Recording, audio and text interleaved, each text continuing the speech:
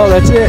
We hiked all the way up to the Silver King mine shaft, explored it again, this time with the boys and Caitlin. Had a blast. Love that place. If you're ever in uh, Park City, Utah, you got to go check it out. Now we're just following this road all the way down. It's pretty easy from here on out. So, until next time, see ya.